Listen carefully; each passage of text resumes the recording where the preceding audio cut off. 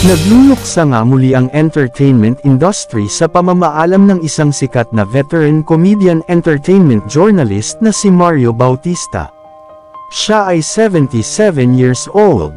Hindi na umabot ang veteranong kolumnista at movie critic sa darating niyang kaarawan sa January 19. Kinumpirma ng kanyang anak na si Honey ang malungkot na balita sa pamamagitan ng Facebook. Nagpaabot naman ng pakikiramay ang itinuring na ring mga pamilya ni Tito Mario sa showbiz, ang mga opisyal at miyembro ng SPI. Noong December 23 ay nawala ng malay si Tito Mario at tumama ang kanyang ulo sa semento. Nakalabas siya ng hospital noong December 29, pero nagkaroon ng komplikasyon kaya ibinalik siyang muli sa ospital noong December 31. Nakaburol ang labi nito sa Loyola Memorial Chapels.